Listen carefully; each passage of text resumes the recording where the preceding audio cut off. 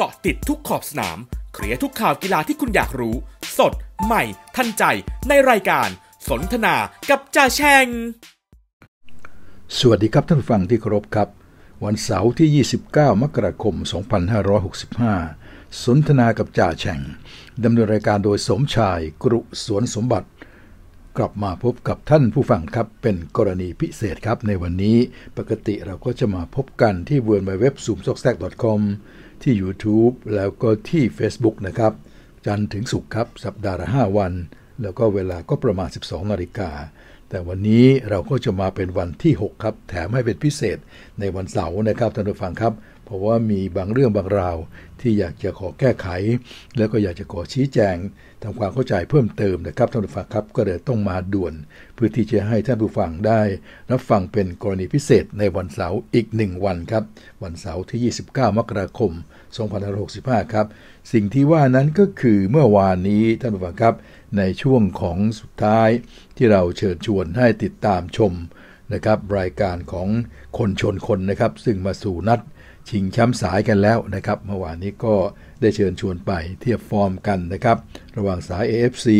นะฮะว่าทางด้านของ Kansas City Chiefs กับทางด้านของ Cincinnati Bengals เป็นยังไงกันบ้างนะครับ แล้วในขณะเดียวกันก็เทียบฟอร์มของสาย NFC LA Rams นะครับกับ San Francisco 49er หรือคนตื่นทอง ว่าเป็นยังไงกันบ้างนะครับ แต่ว่าจุดผิดพลาดอันเดียวนะครับ อันอื่นนี่ไม่มีอะไรผิดพลาดเลย ก็มีผิดพลาดในเรื่องของเวลาแข่งขันครับ เมื่อวานนี้ไปกราบเรียนท่านผู้ฟังว่าจะแข่งกันในเช้าวันอาทิตย์ครับตีสามวันอาทิตย์นะฮะกับหกโมงเช้าวันอาทิตย์ ซึ่งเป็นความผิดพลาดครับ ซึ่งก็เข้าใจว่าคงตอนต้นๆนะฮะก็จ่าแชงอาจจะจดไปแล้วก็เกิดความสับสนไปลงเป็นวันอาทิตย์ไว้นะครับ พอเมื่อวานนี้มาบันทึกเทป ก็เห็นตัววันอาทิตย์ก็พูดวันอาทิตย์ไปเลย แต่จริงๆ แล้วมันต้องเป็นวันจันทร์ครับ คือวันอาทิตย์ที่บ้านเขาตอนบ่ายสามนะฮะ มันก็จะต้องเป็นจะตีสามเช้าวันจันทร์ละเนี่ยต้องเป็นตีสามเช้าวันจันทร์บ้านเรานะครับคือจะไปบอกว่าคืนวันอาทิตย์ก็ไม่ได้ละเพราะมันตีสามแล้วไงเพราะฉะนั้นก็กราบเรียนอีกครั้งหนึ่งนะครับ ว่าเป็นตีสามนะครับท่านผู้ฟังครับของเช้าวันจันทร์ที่ 31 ครับท่านผู้ฟังครับ 31มกราคมเนี่ยนะเรียกว่าตีสามเลยนะฮะก็จะเป็นคู่แรก ระหว่าง Kansas City Chiefs นะครับกับทางด้านของ Cincinnati Bengals หลังจากนั้นก็จะเป็น6โมงครึ่งนะฮะก็จะเป็นคู่ที่ 2 ระหว่างแรมส์นะครับท่านผู้ฟัง กับทางด้านของซานฟรานซิสโกโฟร์ตี้ไนเนอร์ก็ขออนุญาตที่มากราบเรียนข้อเท็จจริงนะครับทุกท่านครับแล้วก็ขออภัยด้วยที่ประกาศผิดไปนะครับ ก็หวังว่าคงจะมีคนกลับมาเปิดฟังในวันนี้หลายท่านอาจจะไม่ได้เปิดฟัง เพราะฟังเฉพาะ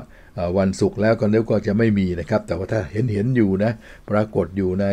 YouTube หรือว่าใน Facebook โผล่ออกมานี่ก็อย่าลืมครับ รีบคลิกเข้ามาฟังนะครับ เพราะเราจะให้พาดหัวไว้ด้วยว่าให้แอดมินพาดหัวไว้ว่าเป็นพิเศษหน่อยนะว่าเรากลับมาเฉพาะเฉพาะกิจครับเพื่อที่จะมาเรียนในเรื่องนี้โดยตรงว่าขอแจ้งให้ทราบนะครับถึงความผิดพลาดนะครับว่าวันคู่นี้บอลสองคู่นี้ในเวลาแข่งจริง ๆ คือวันจันทร์ครับ นี่ยตีสามวันจันทร์คู่หนึ่งแล้วก็6โมงครึ่งวันจันทร์คู่หนึ่งนะครับเช้าเช้าทั้งคู่นะครับก็มากราบเรียนกันนะเอาละครับท่านผู้ฟังครับไหนๆก็มากราบเรียนชี้แจงตรงนี้แล้วก็อยากจะรายงานเพิ่มเติมนิดหนึ่งครับว่าเท่าที่ตรวจสอบล่าสุดของคู่ชิงแชมป์สายเนี่ยนะฮะก็คงจะไม่มีอะไรเปลี่ยนแปลงครับ ในเรื่องของความเป็นต่อความเป็นรองนะครับแคนซัสกับทางด้านของซินซินเนติเบงกอลนั้นก็ยังเท่าเดิมครับ 7.5 เลยครับ ล่าสุดนี่ 7.5 ยืนยัน ไม่มีคำว่า 7 ละ หลาย ๆ เมื่อก่อนยังมี 7 ถึง 7.5 ล่าสุดคือ 7.5สำหรับแคนซัสเป็นต่อนะฮะ นี่คือล่าสุดครับ แล้วส่วนคู่แรมส์นะครับกับทางด้านของซานฟรานไม่เปลี่ยนแปลงครับ จนบัดนี้ก็ยังเป็นทางด้านแรมเป็นต่อ 3.5 แต้มเหมือนเดิมนะครับท่านฟังครับ ยันณนาทีนี้ไม่มีอะไรเปลี่ยนแปลง ส่วนการคาดหมายว่าใครจะเป็น Super Bowl ใน 4 ทีมนี้ ก็ยังเหมือนเดิมนะครับแคนซัสเป็นเต็ง1นะครับ Rams เป็นเต็ง2แล้วก็ซานฟรานเป็นเต็ง 3 ส่วนทางด้านของ Bengals ก็เป็นเต็ง 4 ยังเหมือนเดิมนะฮะ มีช่วงห่างช่วงอะไรต่ออะไรของอัตราต่อรองจะขยับไปบ้าง แต่ว่าเรียงแล้วเนี่ยแคนซัสก็ยังเป็นที่ 1 Rams เป็นที่ 2 ซานฟรานที่ 3 แล้วก็Bengals เป็นที่ 4 นะครับ ก็ไม่มีอะไรเปลี่ยนแปลง ข่าวล่าสุดของคู่นี้ก็มีอยู่นิดหนึ่งว่าทางด้านของ Joe Burrow นะครับ quarterback ของ Cincinnati Bengals เนี่ยก็วางแผนซ้อม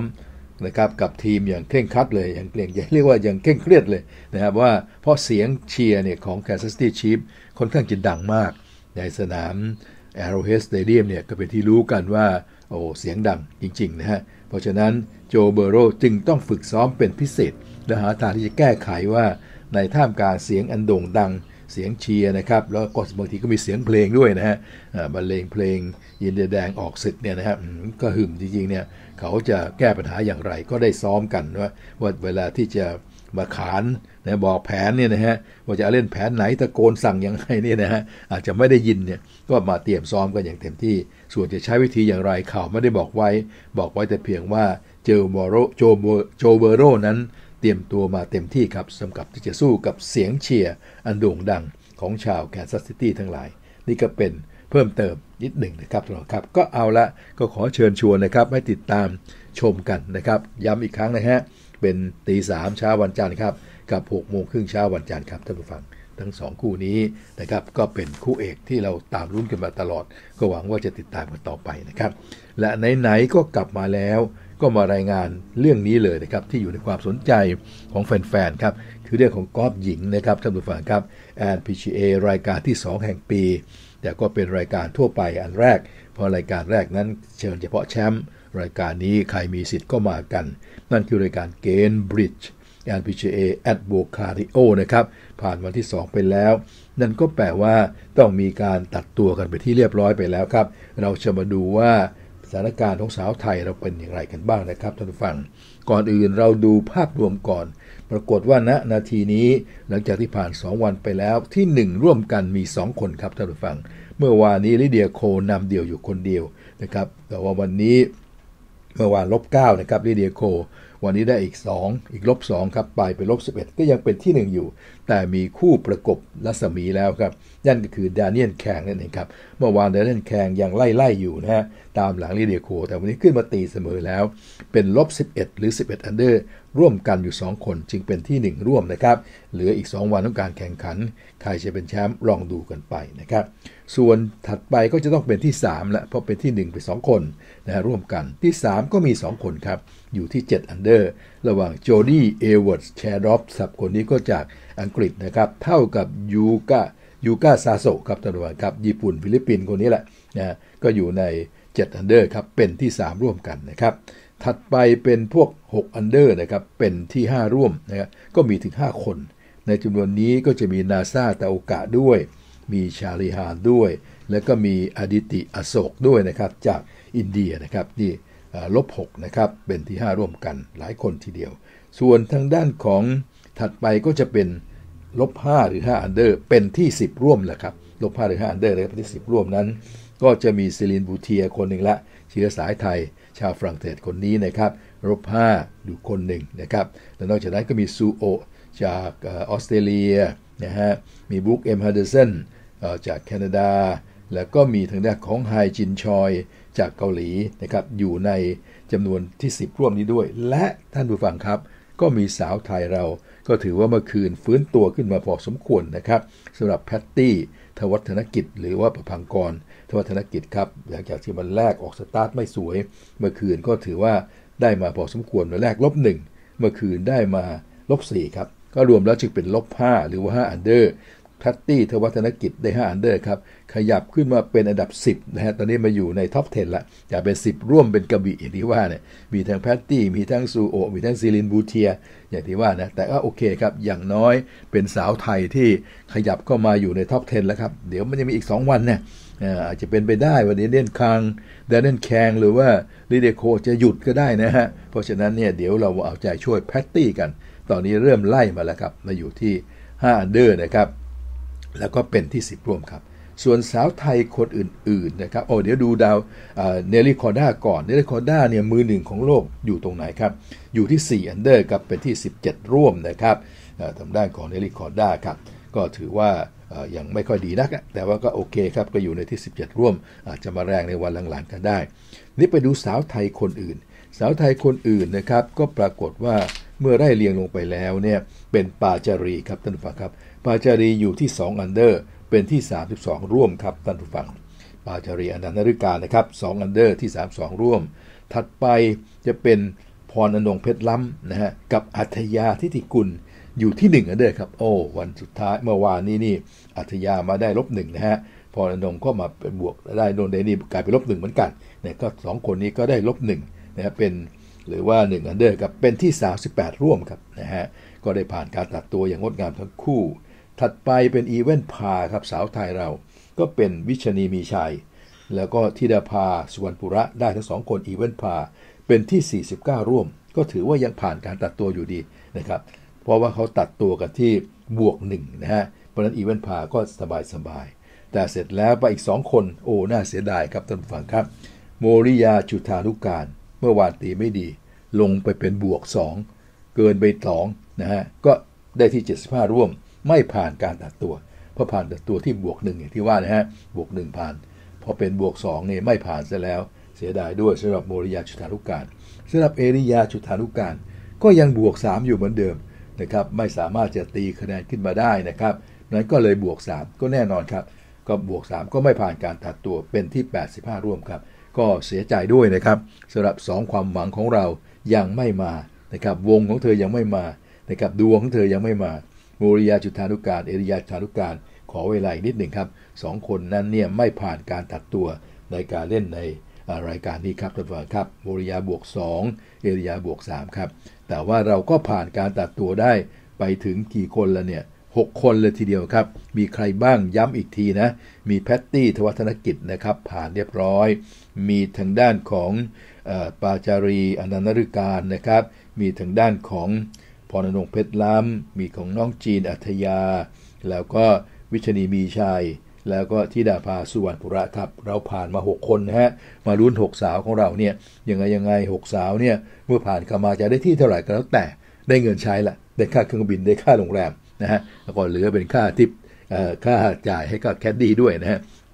ก็เหลือเนี่ยได้เงินเนี่ยแต่ถ้าว่าตกรอบไปก็จะไม่ได้นะครับถ้าไม่ผ่านการตัดตัวก็จะไม่ได้อะไรเลยนะครับ แต่ถ้าผ่านเข้ามายังไงยังไงก็ได้เงินใช้จะมากหรือน้อยเท่านั้นเอง แต่ว่าต้องเชียร์ด้วยครับท่านผู้ฟังครับ ที่ดีใจมากนะครับก็คืออัธยา อันนี้ขออนุญาตดีใจเป็นที่พิเศษ เพราะจ่าแฉงกลัวเหมือนกัน เห็นสถานการณ์ของเธอเมื่อวานแล้วก็ล่อแหลมเนี่ยเมื่อคืนนี้รุนมากเลย กลัวว่าอัธยาจะไม่ผ่านการตัดตัว เพราะว่าอะไรรู้ไหมเพราะนี่เป็นเหมือนกับเป็นการประเดิมครั้งแรกของการที่มาเป็นสมาชิกเป็นน้องใหม่ของ LPGA เต็มตัวเนี่ยครั้งแรกที่เล่นเนี่ยนะแล้วมันสอบได้ผ่านการตัดตัวเนี่ย ถ้าไม่ผ่านการตัดตัวมันก็จะรู้สึก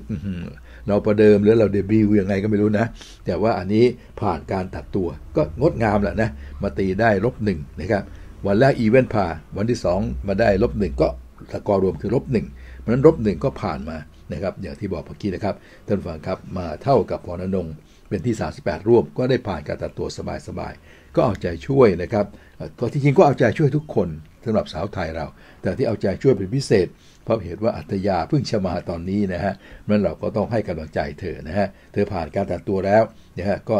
ติดตามกันต่อไปว่าใน 2 วันสุดท้าย สาวไทยเราทั้งหมดจะเป็นอย่างไรนะครับความหวังตอนนี้อยู่ที่แพตตี้นะครับ ประพังกรธนวัฒนกิจครับขอให้เธอ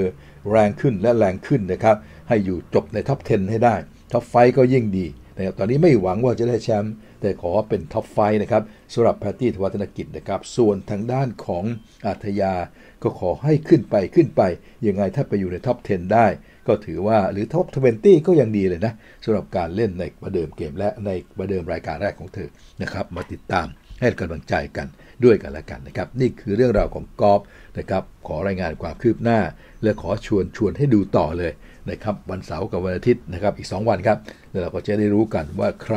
จะเป็นแชมป์ครับท่านผู้ชมครับ ส่วนในเรื่องของไหนๆก็ชวนแล้วก็มาชวนดูเทนนิสด้วยนะครับท่านผู้ชมครับ วันนี้ย้ำอีกทีนะครับ ว่าตอนบ่ายๆของวันเสาร์เนี่ยบ่ายบ่ายสามโมงสามสิบนาทีชัดเจนนะฮะ จะเป็นการชิงแชมป์หญิงเดี่ยวออสเตรเลียน Open แล้ว ระหว่างที่คู่ที่เมื่อวานจ่าแฉ่งก็ย้ำไปแล้วครับ Ashleigh Barty มือวางหนึ่งของรายการมือวางหนึ่งของโลกครับมืออันดับหนึ่งของโลก ก็จะเจอกับ Danielle Collins จากสหรัฐอเมริกา มือวาง 27 ของรายการ แล้วก็มือ 30 ของโลกครับ แน่นอนครับ Ashleigh Barty นั้นเป็นต่อเยอะแยะเลย แต่ก็อย่าลืมว่า ออสเตรเลียนั้นมีอาถรรพ์นะครับ ยังไม่เคยมีสาวออสเตรเลียนคนไหน หรือว่าหนุ่มออสเตรเลียนคนไหนด้วยซ้ำได้เป็นแชมป์ในบ้านตัวเองในการแสลมของตัวเองเนี่ยมากว่า 40 ปีแล้วนะฮะท่านผู้ฟังตั้ง8ปี 1978 ยังไม่เคยมีเลยหนุ่มหรือสาวก็ตามทีบัดนี้เนี่ยแอชลีย์บาร์ตี้มาจ่อแล้ว เธอจะเป็นคนแรกใน 40 กว่าปีนี้หรือไม่นะครับ ก็คงต้องติดตามกัน แต่ถ้าเจออาถรรพ์แรงๆเนี่ยนะเกิดไม่ได้ขึ้นมาเนี่ยดานิลคอลลินส์ก็จะได้เฮนะครับ สาววัย 30 จากสหรัฐเนี่ยครับท่านฟังวัย 28 ประทานโทษ วัย 28 แต่เป็นมือ 30 ของโลกจากสหรัฐเนี่ยก็จะได้เฮกันละ นี่ก็คือคู่เชิญชวนนะ วันนี้วันเสาร์ที่ 3 ตอนบ่ายครับสามโมงสามสิบนาที และชวนต่อพรุ่งนี้เลยวันอาทิตย์นะครับท่านผู้ฟัง ชิงแชมป์ชายและในที่สุดแล้วหวยก็มาออกที่ราเฟลนาดาลกับดานิลเมดเวเดฟครับ เมื่อวานดานิลเมดเวเดฟก็สามารถที่จะปราบทางด้านของสเตฟานอสซิซิพาสไปได้นะครับดานิลเมดเวเดฟก็เอาชนะอย่างสุดมันมา เอาชนะสเตฟานอสซิซิพาสมาได้เพราะนั้นก็มาเป็นคู่ท้าชิงกับทางด้านราเฟลนาดาล เวลาแข่งขันก็เวลาของวันอาทิตย์ครับบ่าย3 30 นาทีเช่นเดียวกัน เพราะฉะนั้นข้ามไปดูวันอาทิตย์ด้วยนะ ชวนเผื่อไว้เลยว่าระหว่างดานิลเมดเวเดฟกับราเฟลนาดาลนั้นเนี่ยกดมันทั้งคู่แหละนะมือ 2 กับมือ6อะดานิลเขาก็มือ 2 แล้วราเฟลนาดาลก็มือ 6 แต่ในแง่ของศักดิ์ศรีเนี่ยคนก็เรียกว่ารู้จักนาดาลกันมากกว่าใครจะเป็นผู้ชนะครับ ก็เจอกันในวันอาทิตย์นี้นะครับท่านผู้ฟังครับ เอาละครับ นี่คือสิ่งที่อยากจะเชิญชวนไหนๆก็กลับมาเป็นกรณีพิเศษแล้ว ก็เชิญชวนอีกนิดนึงนะเอาฟุตบอล Africa Cup of Nations เนี่ยนะฮะในคืนวันนี้วันเสาร์นะครับ 29 นั้น รอบ 8 ทีม 2 คู่นะ ย้ำอีกทีหนึ่งแกมเบียกับเคอร์มารูนตอน 5 ทุ่ม แล้วก็เบอร์กินาฟาโซนะครับ กับตูนิเซียตอนตีสองนะครับ ก็คู่นี้สองคืนนี้จะดูก็ได้ไม่ดูก็ได้ แต่พรุ่งนี้นะนะครับตอน เวลาล่าสุดคือห้าทุ่มแล้วครับเมื่อวานจ่าแฉ่งยังเขียนบอกว่าสี่ทุ่มอยู่เลย แต่ตอนนี้ก็เปลี่ยนมาเขียนห้าทุ่มละอียิปต์กับโมร็อกโกครับอียิปต์กับโมร็อกโกนะฮะพรุ่งนี้ครับวันอาทิตย์ครับห้าทุ่มนะฮะแล้วก็เซเนกัลกับตูนิเซียก็ตีสองนะครับที่ต้องย้ำกันก็เพราะว่าทางอียิปต์นั้นนะครับโมฮัมหมัดซาลาห์ก็ลงเล่นแน่นอนครับเมื่อกี้ดูชื่อก็เห็นบอกว่าจะลง แต่ว่าเซเนกัล กับตูนิเซียนั้นยังไม่แน่นะครับ ว่าทางด้านของซาดิโอมาเน่จะได้ลงไหม เพราะว่าการที่แกน็อกเมื่อข่าวที่แล้วเนี่ยมันก็ยังเป็นปัญหาอยู่นะครับ จากการที่ของคาชั่นไปเมื่อสองวันก่อนเนี่ยก็เลยทำให้ยังเกิดความไม่แน่ใจนะครับว่า จะได้ลงเล่นหรือเปล่านะครับแต่เท่าที่เช็คข่าวล่าสุดนั้นเนี่ยก็ยังไม่ยืนยันนะครับก็ลองดูก็แล้วกันนะครับ ว่าทางด้านของมาเน่จะได้ลงหรือไม่ลงนะครับเซเนกัลนะก็ถ้าได้ลงก็เป็นกำลังสำคัญเนี่ยที่เราทราบกันนะฮะก็เจอกับตูนิเซียครับก็เป็นเวลาตอนตีสองในคืนวันอาทิตย์ครับครับนี่คือทั้งหลายทั้งปวงนะครับที่มากับเรียนกันเป็นพิเศษในวันนี้ซึ่งเป็นวันพิเศษครับก็เรียนย้ำกันอีกครั้งหนึ่งนะครับท่านผู้ฟังครับว่าวัน เสาร์ที่ 29 มกราคม2565 นั้น กลับมาเป็นพิเศษเนื่องจากปกติเราก็จะไม่มีวันเสาร์จะเป็นวันหยุดกัน แล้วก็คงจะย้ำอีกทีนะ ว่ากลับมาที่จะมาชี้แจงว่าเมื่อวานประกาศผิดไปในเรื่องของฟุตบอลอเมริกันฟุตบอลนะครับ คู่ชิงแชมป์สายนั้น ย้ำอีกทีครับ ก่อนที่เราจะร่ำรากันตรงนี้ว่าการชิงแชมป์สายนั้น คู่ Kansas City Chiefs กับคู่ของ Bengals มาตอนตีสามนะครับเช้าวันจันทร์นะครับเช้าวันจันทร์ที่ 31 มกราคม และส่วนคู่ของคู่ที่2นะครับแอนเอแลมกับทางด้านของซานฟรานซิสโกก็จะมาตอน6โมงครึ่งของเช้าวันจันทร์31 ครับ ก็เรียกว่าดูกันไปจนสายๆเลยนะครับแล้วก็คงจะเป็นเรื่องของพิเศษก็คงจะหมดเพียงที่นี้ครับท่านผู้ชมครับ ก็ขอ ยุติเพียงแค่นี้ก่อนนะครับ แล้วก็พบกันวันจันทร์เลยนะครับ พรุ่งนี้ไม่มานะครับ เจอกันวันจันทร์ครับ สวัสดีสำหรับใครที่ไม่อยากพลาดสนทนากับจะแช่งแบบไม่ไม่สดๆ ฝากกดไลค์ กดแชร์ กด Subscribe และกดกระดิ่งแจ้งเตือนด้วยนะครับ และสามารถติดตามความเคลื่อนไหวได้ทาง Facebook และ YouTube แค่เพียงพิมพ์คำว่าซูมซอกแซก ฝากด้วยนะครับ